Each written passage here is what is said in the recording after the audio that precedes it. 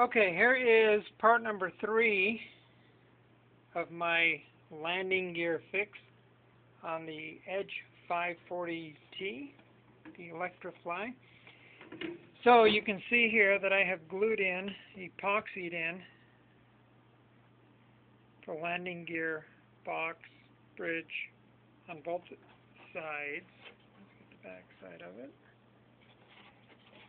I can do this with one hand here. So there's the back side of it.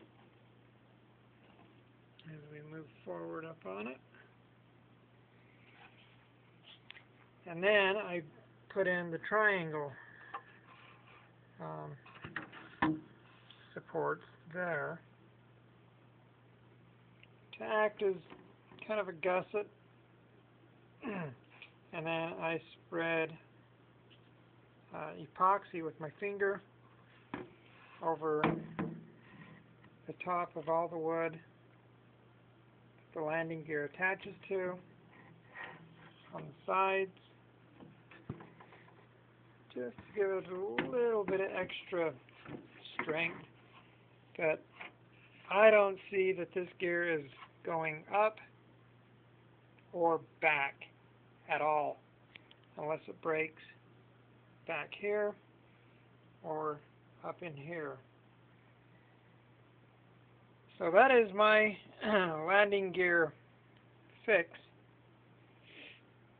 Um, and I don't know if it can be ripped out of the bottom or not unless you're landing in rocks. Well, maybe so, but for normal runway or maybe grass, this landing gear fix should do the trick.